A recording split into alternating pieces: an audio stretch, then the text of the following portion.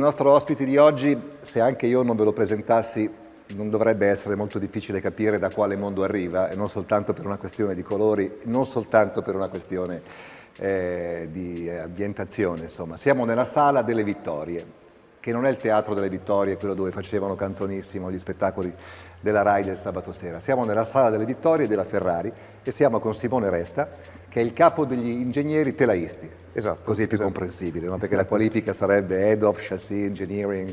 Come si diventa eh, uno che fa il tuo lavoro? Come si diventa ingegnere della Ferrari? Cioè tu quando eri piccolo questo desiderio ce l'avevi già facile perché insomma sei nato qua vicino. Diciamo che eh, penso si diventi ingegnere della Ferrari eh, in tanti modi, ma sicuramente con un elemento comune che è una grandissima passione, una grande voglia diciamo, di arrivare in questo mondo e di, e di dare il proprio contributo. No? In un grandissimo libro di storia della Ferrari di scrivere una piccola Certo. parte con, con la propria mano, quindi è una, è una carriera che nasce da lontano. Da, Che studi hai fatto esattamente? ho studiato ingegneria meccanica Ok. a Bologna. E... Poi sei venuto qui a Maranello e via Betone, hai suonato il campanello e... No, ho suonato il campanello semplice. prima di Giancarlo Minardi a Faenza. Ok, e ho, ho perché tu sei con- faentino. Sì, sono faentino, esattamente. E ho lavorato con la Minardi per un po' di anni e poi è stata la grande possibilità di venire in Ferrari e, e l'ho colta al volo. Da quanti anni sei in Ferrari? Sono in Ferrari dal 2001. Dal 2001, quindi siamo vicini al ventesimo compleanno, Eh, stagioni ovviamente diverse fra di loro, le grandi stagioni dei successi di Michael Schumacher, ci sono le sue cinque macchine che hanno vinto il mondiale qui, no? Esatto, emozioni incredibili, tantissimi ricordi, eh, gare sempre al Cardio Palma con ehm, vittorie di strategia, vittorie sul bagnato.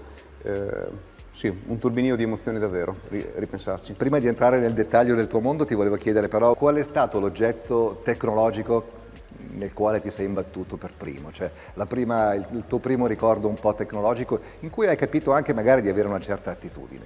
Beh, diciamo che forse le prime esperienze vissute veramente di- sulla tecnologia sono quelle fatte nell'officina di mio padre, dove in estate lo aiutavo appunto a fare delle, delle attività, dei piccoli lavori e dove ho preso familiarità con la meccanica, con, eh, con i componenti, con i pezzi, col fatto di partire da un blocco di metallo, magari produrre qualcosa di, Certo. di vero. Senti, guardavo queste macchine e, e si vede ovviamente tutto il cambiamento di questi ultimi decenni. Alle tue spalle c'è una macchina di Clay Regazzoni, quella era quella di Gilles Villeneuve. Si vede anche la, la- la- la- differenza dei dettagli, no? quegli alettoni, a parte che se potessero parlare potrebbero raccontarci anche delle cose quasi pornografiche per un appassionato di Formula 1. Però insomma si vede che lì c'era ancora tanta mano dell'uomo, mentre man mano che si va verso la macchina di Hakkinen, di Raikkonen, sorry, eh, si capisce che insomma il computer, la tecnologia ha fatto grandi progressi. Beh, mi viene, mi viene da pensare che l'uomo fa sempre la differenza. Chiaramente il computer piuttosto che i software eh, o le macchine aiutano l'uomo a fare un lavoro migliore, aiutano l'uomo a ottimizzare di più un componente, però eh, vediamo appunto in questa stanza, vedendo queste vetture, come l'evoluzione è continua e l'evoluzione è stata spesso anche guidata dai regolamenti, per Certo. cui eh, il compito di noi ingegneri è quello sempre di cercare di, di ottimizzare al massimo il pacchetto, dato i vincoli regolamentari che, che ci vediamo appunto Cioè, regolamenti che vanno sempre in due o tre direzioni. Da una parte fare delle macchine che siano utili anche per eh, diciamo, l'uomo della strada. Mi raccontavi in apertura prima dell'intervista che eh, le- macchine attuali consumano praticamente il 30-40% di benzina in meno rispetto a quelle degli anni 90 o 2000. Vero. Ed è un progresso incredibile questo. Ed è un progresso incredibile e anche molto rilevante per, per le macchine da strada, perché comunque la- l'aumento di efficienza dato dalla componente ibrida di fatto viene anche riversato sui nostri prodotti, sulle nostre Ferrari stradali e consente veramente di massimizzare le prestazioni anche con un occhio alla sostenibilità, quindi all'ambiente. Senti, l'altro aspetto invece è quello che riguarda la sicurezza dei piloti. C'è stato il drammatico incidente veramente casuale ma incredibile del povero Jules Bianchi pochi anni fa. Prima di quello, l'ultimo incidente di cui ci si ricordi, ahimè, è quello di, di Ayrton Senna. Questo vuol dire che da 26 anni, tolto, ripeto, l'incidente quasi casuale purtroppo di Bianchi, le macchine di Formula 1 sono diventate sicurissime. Sempre che si possa usare questo termine, perché stiamo parlando di gente che vola quasi con un'automobile. Esatto, diciamo che la sicurezza è cresciuta tantissimo, è chiaro che rimane sempre una componente di rischio eh, nelle corse, è proprio insita nella, nella competizione, Certo. però eh, comunque gli sforzi fatti dalla federazione assieme alle squadre hanno portato anno dopo anno a fare ricerche, a implementare nuovi concetti sulle strutture di crash piuttosto che sulla resistenza del telaio alle penetrazioni, piuttosto che sulla ritenzione delle ruote, eh, che sono una- un oggetto molto pericoloso in pista quando appunto un pilota può perdere una ruota dopo un urto. E per finire all'introduzione diciamo, del, dell'ultimo step che è quello dell'alo, quindi una struttura che avvolge il pilota e lo, e lo va a proteggere da eventuali corpi che possono... Senti, i piloti lo hanno digerito quell'affare perché all'inizio non piaceva veramente a nessuno, neanche a noi che guardiamo i Gran Premi. Poi noi ci siamo abituati ai piloti credo anche, no? Sì, devo dire che magari dopo lo shock iniziale l'hanno, digerito e sì, ci una presenza abbastanza bene. ingombrante, ma insomma se porta sicurezza eh, benvengano. E nei prossimi anni cambieranno ancora le regole, dovevano cambiare già il prossimo anno, ma per via del Covid insomma il regolamento è stato diciamo congelato, dal 2022 si cambia ancora esatto. e addirittura torna l'effetto suolo. Torna un parziale effetto suolo, chiaramente non, non, sarà come queste vetture con le minigonne, con le esatto. sospensioni attive, però comunque la componente diciamo, di deportanza generata dal fondo aumenterà e per tornare al punto che dicevi prima, quindi la sicurezza, verranno fatti dei passi molto molto importanti eh, sulla sicurezza, quindi sui telai ancora i robustimenti, ancora tua. criteri, sì, roba nostra eh, dove io do il mio contributo, eh, criteri ancora più, ancora più, stringenti, prove più difficili da superare. Per esempio? Eh, penetrazioni laterali con carichi molto più alti, okay. Eh, diversi criteri di crash per il muso, eh, eccetera, eccetera. Quindi un bel challenge per noi ingegneri che ci teniamo impegnati. C'è un contatto diretto fra voi ingegneri, eh, telaisti in particolare, e i piloti, oppure quello che vi arriva arriva sempre ovviamente filtrato dal direttore sportivo, dagli altri, dei, dei, dei capi degli ingegneri, non saprei? Beh, sicuramente ci sono dei contatti diretti, è importante che ci siano per avere un feedback eh. il più possibile diretto e poi comunque partecipiamo alle riunioni e ai briefing che ci sono dopo le, gli eventi in pista, quindi comunque sentiamo anche dalla si loro voce. Si fanno in emiliano le riunioni o in inglese? Temo di sapere in, la risposta. In inglese. Senti, una volta si parlava molto del fondo schiena di, di Niki Lauda, che era uno in grado di capire se la macchina andava o non andava. Qual è, il, qual, qual è, stato il fondo schiena più sensibile che hai trovato in questi vent'anni di Formula 1? Cioè quello più in grado di darti le indicazioni più efficaci?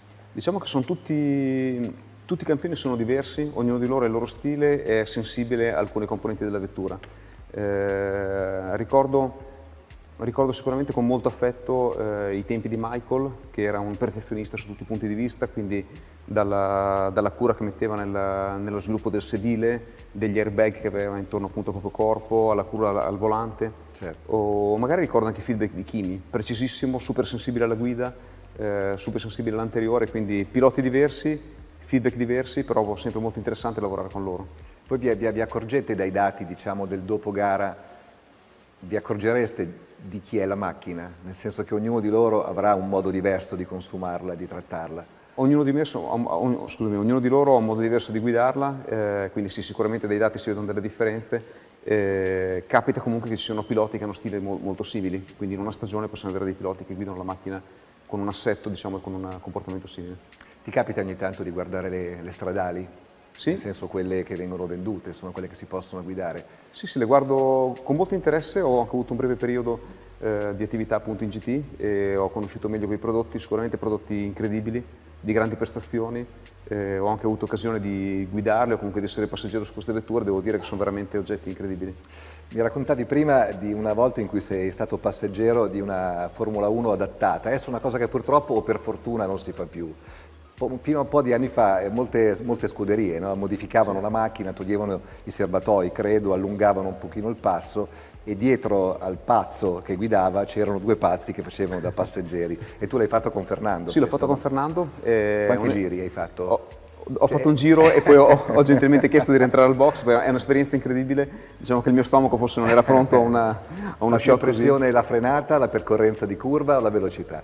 Eh, penso che a, a, me ha fatto moltissima impressione la frenata e, e, il cambiamento di direzione veloce e anche l'approccio che ha al, al cordolo. E sicuramente una cosa che non mi aspettavo, ce lo dobbiamo immaginare come una cosa di un livello, di un ordine di grandezza superiore a quello che possiamo vedere magari in auto quando giriamo per le strade normali. Certo. Eh, come fanno i piloti ad avere la visuale di quello che gli accade intorno se sono così sdraiati per terra e addirittura spesso per sapere dov'è la curva loro si, si, rifanno i cartelli che indicano la, la, la distanza in metri, no?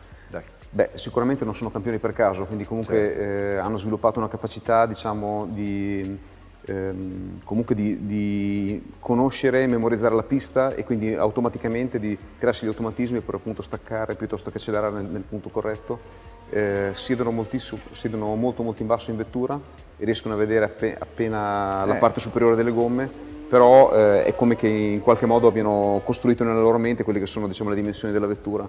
e fanno dei fili spaventosi anche eh, la, ai sì, bordopista. Sì, è veramente incredibile. Ho letto che state aggiornando i vostri simulatori anche, no? Sì, sì, sì, è una, sicuramente una parte importante dove i team stanno investendo in questi anni, eh, avendo sempre più limitazioni per i test in pista, investiamo sui test indoor e quindi stiamo sì, lavorando su una nuova generazione di simulatori che non è ovviamente una console per videogiochi come quella a cui siamo abituati, ma ricrea tutte le situazioni. Sì, ricrea le situazioni. Ricrea... Cioè un pilota quando scende da un'ora nel simulatore o mezz'ora è stanco come se avesse guidato una macchina vera, credo. Le accelerazioni sono un po' diverse, però sono dei meccanismi diciamo, di movimento della piattaforma che cercano di, di assomigliare il più possibile alla vettura reale. Eh, non è come guidare una vettura reale, però cerca di somigliarsi il più possibile per dare feedback il più possibile realistici. Oppure a volte può anche servire per memorizzare un circuito che non si conosce, no? quando ne viene sì. inserito uno nuovo nel mondiale negli ultimi anni è successo spesso. Eh, succede a voi progettisti di pensare anche all'estetica di una macchina di Formula 1? Mm. O, è solo, o, è solo, una conseguenza? Non troppo frequentemente, però qualche volta eh. sì, soprattutto nel periodo verso diciamo, la fine dell'anno nel quale si definisce la livrea a volte siamo, diamo il nostro contributo anche per questa cosa qua e devo dire che è sempre molto emozionante, la parte se vogliamo più artistica del nostro lavoro. Eh, qual è la Ferrari più bella che tu ricordi, diciamo, tra tutte quelle che hanno, che hanno corso, anche quando tu non c'eri, dal punto di vista estetico? Se con una bacchetta magica tu potessi averne una in salotto, Beh, diciamo che due le abbiamo qua, c'è la macchina di Kimi campione del mondo 2007. Che è quella con quel rosso strano, tra Quella con quel rosso strano, una vettura bellissima, velocissima però probabilmente quella a cui sono affezionato più di tutti è la, è la vettura del 2004 di Michael, una vettura che ha incanalato una serie incredibile di vittorie e penso rimanga una pietra miliare nella, nella storia della Formula 1. Invece fra le Ferrari stradali pensando anche a quelle degli anni 50-60, ce n'è qualcuna che quando la vedi, noi entrando qui abbiamo fatto tutto un percorso obbligatorio ed era tutto un... Uh. Beh, devo dire che sono un po' nostalgico e sicuramente la Ferrari F40 è quella che rimane negli, ah, ah, Sempre quelle con tanti cavalli, esatto. comunque nel tuo caso, concedi meno all'estetica. Eh, senti, qualcuno dice che la, la, la, Formula 1 negli ultimi anni, forse anche a ragione, è diventata un po' noiosa, no? eh, perché è, di, è difficile superare. Detto che negli ultimi due anni abbiamo visto un sacco di Gran Premi invece magari un po' rocamboleschi ma molto avvincenti, eh, come si fa a a uscire diciamo, da, da, da, questa dire, eh, quasi certezza che si ha, no? nel senso che una volta finito la tornata di prove, grosso modo le, le, i valori sono definiti ed è difficile eh, sovvertirli, per ridare un po' più di sprint. Beh, c'è sempre una componente diciamo, di, se vogliamo, di sorpresa legata alla strategia, eh, la gestione della gomma, le condizioni del meteo, il pit stop, quindi non la definirei sicuramente una Formula 1 noiosa, la definirei una Formula 1 dove la parte diciamo, di ottimizzazione ingegneristica ha trovato sempre più spazio e ha permesso alle squadre di essere più vicine. È chiaro che alla fine eh, la, diciamo, la, da padrone lo fa la vettura, quindi comunque chi ha la, chi ha la vettura migliore ha un grosso vantaggio. Certo. Però eh, è uno sport dove comunque la competizione è ancora molto forte, dove ci sono ancora possibilità diciamo, di, di sovvertire gli ordini durante Senti, la gara. È, è, vero che il tuo principale nemico, parlo dal punto di vista di un pilota, è sempre e solo il tuo compagno di squadra, perché è l'unico vero termine di paragone che esiste. No? Nei confronti degli altri puoi sempre avere l'alibi che la macchina non sia all'altezza. Ma no, mi viene da dire che il, forse il peggior nemico è il cronometro, è sempre quello con cui eh, ci sfidiamo eh, tutte le volte. E, ehm, cosa pensate quando vedete una macchina che va a sbattere? Ma innanzitutto Al di là del, del, disappunto perché la gara è rovinata e tutto il resto, però c'è anche un po' di dispiacere per del lavoro che si butta via o fa parte diciamo, del gioco. Insomma. Ma diciamo così, eh, per quanto mi riguarda mi viene sempre da pensare a chi l'ha costruita, a chi l'ha, l'ha assemblata, alle persone che magari hanno fatto le notti o i weekend in, in, produzione per cercare di preparare questi oggetti che sono quasi opere d'arte e quindi vederli così sbriciolarsi in pista eh. contro un muretto è sempre una cosa che ci dà un po' di apprensione. Senti, se si partisse da zero con tutti i pezzi sparpagliati per terra, in quanto tempo una squadra di meccanici assembla una monoposto? Eh, beh, dipende molto se è il primo assemblaggio o se è un assemblaggio diciamo, di una vettura che è già conosciuta e quindi già okay. pronta per essere utilizzata in gara. Eh, tipicamente diciamo che una, te una, tempistica può essere, ah, diciamo, eh, mettendo in fila tutte le varie fasi di una settimana o poco più, però può essere anche molto più veloce una volta che è certo. conosciuta la vettura. Beh, a volte a succede anche che magari una macchina venga distrutta durante le prove e fanno questi famosi miracoli notturni di rimetterla insieme. Certo, insomma. però chiaramente partono da un motore che è già pronto, da un certo, cambio che è già certo. pronto, quindi se facciamo un po' l'esercizio da zero, tutti, i fogli, tutti i pezzi su un foglio bianco è un pochino più lungo. Senti, quante macchine più o meno costruite in una stagione? Mm, diciamo circa 5-6 vetture, in realtà eh, non esiste una macchina. Questi sono i telai, esatto. poi in realtà i esatto. componenti sono diversi, quindi sono un certo numero di cambi, di motori, di sospensioni, un po' a seconda del, del, degli utilizzi. Diciamo. Quali sono i vincoli più grandi per un progettista? Perché alla fine, insomma, lo vediamo anche sulle macchine stradali, se uno fa funzionare diciamo, al meglio il cervello di un computer, i risultati sono praticamente sempre gli stessi, no? perché comunque l'aerodinamica ti porta lì, il peso ti porta lì, le dimensioni ti portano lì. Qual è il vincolo più antipatico per un progettista? Ma diciamo, i vincoli forse più che antipatici, direi più sfidanti, sono quelli del regolamento, quindi sono vincoli di regolamento tecnico, eh, sono vincoli di regolamento sportivo, eh, sono vincoli anche di regolamento finanziario che entrerà nel, 2000, nel certo. 2021. Quindi eh, tanti vincoli con i quali sfidarsi che possono dare opportunità diciamo, per fare un lavoro migliore dei nostri eh, competitors. Torniamo invece al passato. Quanto ci hai messo eh, ad abituarti al suono o al non suono delle Formula 1 diciamo, degli ultimi anni? Da quando insomma, è arrivata eh, la unit power, come si dice, la power unit, insomma la, la parte ibrida. Il primo anno eravamo tutti un po' spiazzati no? davanti a questo rumore che sembrava un asciugacapelli. Devo dire che per chi è nato a Imola e diciamo, viveva a 20 eh, km dal circuito e quando era, era piccolo violenza, sentiva le, le, vetture girare a 20 km da casa, eh, è stato un, un, po' uno shock diciamo, sentire un, un, cambio di rumore come questo, però alla fine eh, penso che sia la cosa giusta, va nella direzione dell'efficienza, va nella direzione certo. del, della sostenibilità, quindi è importante l'utilizzo dei turbo su queste vetture. Cosa dicono i piloti delle macchine ibride? Hanno, eh, hanno ancora forse più, più coppia, più propulsione, no? Ma sicuramente sono le vetture più veloci di sempre, eh. quindi sono le vetture che hanno in tante piste stanno battendo i record e quindi sono vetture incredibili, di grandissime prestazioni. Sono molto più, più grandi e più lunghe le macchine sì. rispetto a quelle di una volta, no? adesso viste anche fisicamente qui, poi abbiamo visto anche le altre, quanto è lunga una Formula 1, dalla punta del muso alla coda della lettura? Eh, sono lunghe anche 5 metri. Ehm, Nel mio box non ci sta, adesso devo verificare. si può smontare il muso davanti? si può togliere il muso. sì. E sono vetture appunto più lunghe di queste, di queste che vediamo adesso, più larghe, eh, anche gli stessi pneumatici sono comunque più larghi eh, su vetture dove l'evoluzione per prestazione è stata molto importante.